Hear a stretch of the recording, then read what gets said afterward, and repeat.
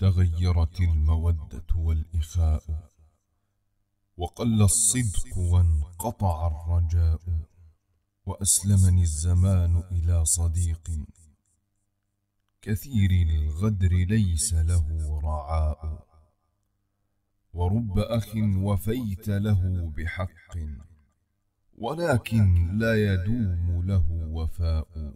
أخلاء إذا استغنيت عنهم وأعداء إذا نزل البلاء.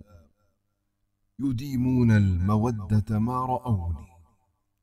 ويبقى الود ما بقي اللقاء. وإن غنيت عن أحد قلاني.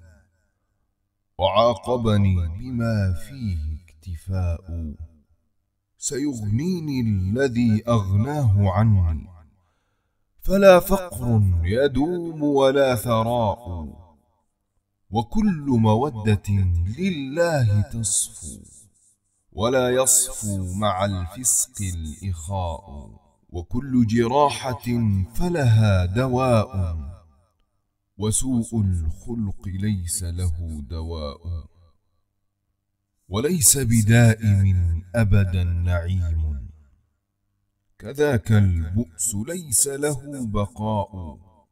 إذا أنكرت عهدا من حميم ففي نفس التكرم والحياء. إذا ما رأس أهل البيت ولى بدا لهم من الناس الجفاء.